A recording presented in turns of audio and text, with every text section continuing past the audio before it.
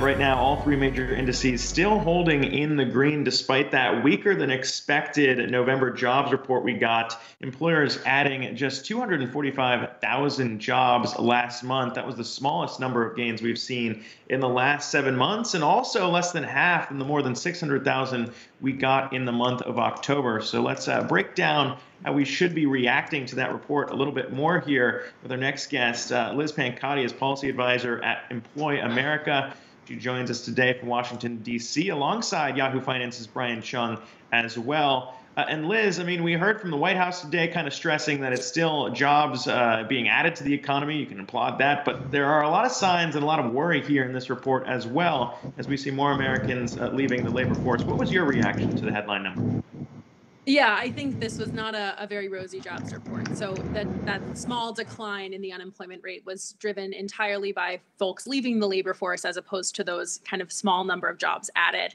Uh, especially in kind of November, December, we expect quite a few jobs to be added in that kind of temporary and seasonal hire space, and those uh, we did not see the gains in those that we would hope to see, especially in uh, this kind of uh, downturn in the economy. And so, you know, I, I don't think it was a it was a great picture to see uh, in at this point. Uh, hey, Liz, Brian Cheung here. Great to speak with you. Now, there's something really important at stake here. There are a number of CARES Act programs that are set to expire shortly after Christmas. So, those under 10 million people still on the sidelines, as we saw this morning, will continue to need help, though. Tell us a little bit about your estimates on what's at stake here with uh, some pandemic unemployment assistance in addition to other types of CARES Act programs expiring uh, this month. Yeah, so the morning after Christmas, about 12 million people will be kicked off of their unemployment insurance uh, benefits, and that's as a result of federal programs expiring. Um, but prior to then, about 4 million workers will be kicked off those benefits. And so we're looking at uh, a pretty grim picture for many American workers, given that once those benefits expire, they'll have no income coming in the door unless they can find a job opportunity, which we know uh, there aren't many. Now, what's really important here too is that this is a much bigger difference than losing that extra six hundred dollars uh, that we had earlier in the summer. This is essentially going from having unemployment assistance to having no income at all whatsoever. What would that do longer term to the job market? We saw the weekly uh, weekly claims in yesterday showing that there are still people turning to these really important services. What's the bigger picture, I guess, uh, uh issues that are at stake here? Yeah, so I guess I'll, I'll go back to your first point of kind of this is not like the $600 cliff, which was very bad for many families. But this, if we kind of go back to Econ 101 and think about the marginal value of these dollars, having some income versus no income is a really big difference. And these checks typically only replace about 40% of workers pre layoff income. So it's a very big jump for many families. That said, I think, you know, we would expect big declines in consumer expenditures, which we know are a big percentage of our GDP. And, and often, you know, we've, we've seen good recovery numbers in those. And so we would hope that that that trend would continue, but it doesn't look uh, like it will with this many people facing no income.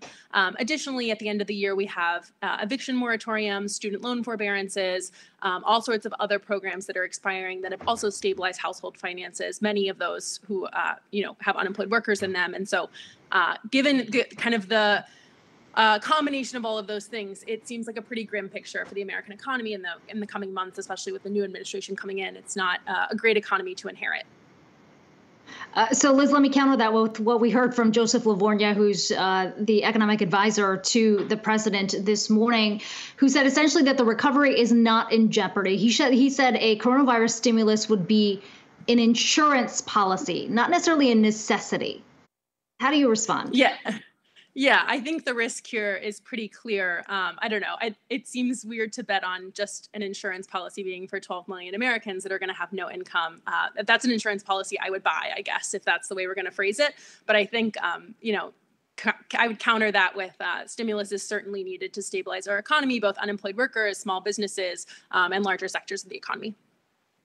Uh, Liz, now I want to ask about the accounting. Um, I know we might lose a few viewers here when it comes to how the uh, Labor Department is reporting some of these things. An interesting uh, Government Accountability Office report that showed there may have been actually some misreadings on uh, the weekly unemployment claims that we get every Thursday morning. What is the proper way to be looking at that data going forward? I know that there's a lot of seasonal, non seasonal adjustments. I mean, are we understating or overstating the numbers um, on a weekly basis? Honestly, we're probably doing both. Uh, so the GAO report, kind of the the headline was that we're overcounting people because some people are applying several times, given the backlogs, and they're you know you get frustrated that no one's replied to you, so you submit another application, or states are just processing these in such a untimely manner that um, the backlog numbers also aren't getting accounted into that week's claims numbers. And so it's kind of an undercounting and an overcounting issue. That said, uh, given that we don't know the extent and that, you know, the GAO and the Department of Labor have both conceded that we don't know how large uh, either of those numbers are, it's difficult to figure out how to net those numbers and, and kind of see what the true picture of claims is. Uh, given the new federal programs for some of these, uh, we have a lot more people that are eligible for unemployment insurance than have ever been before. And so it's also, not only is it difficult to say, this is how many people are claiming or trying to claim benefits, but also to compare to the Great Recession or prior recessions and what claims looked like then, these programs weren't in place and these workers weren't eligible. And so it's difficult to compare on, on a lot of ends. Um, I hope that we'll we'll get you know investments in UI data, and I, I know the nerds are, are cheering now and most people are glossing over, but I, I hope that this is a wake up call that we really do need better federal investments in our data structures for labor market data and, and all kinds of other stuff.